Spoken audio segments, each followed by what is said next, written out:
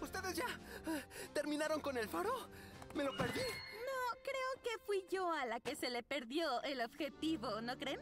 Empecé todo esto y ponerle expectativas tan altas de perfección a algo es una receta perfecta para el desastre.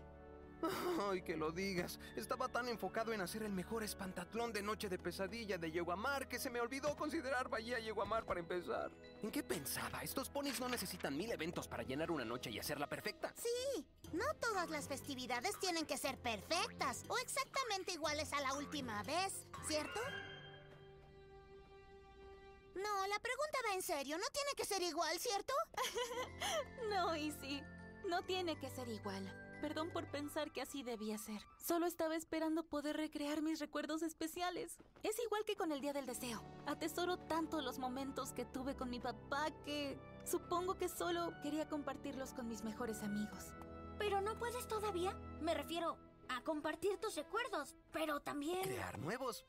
Aun cuando las fiestas sean sobre tradiciones, también son sobre dejarse llevar por la sorpresa de lo que esta luna traerá. ¿Y qué es más sorprendente que la noche de pesadilla?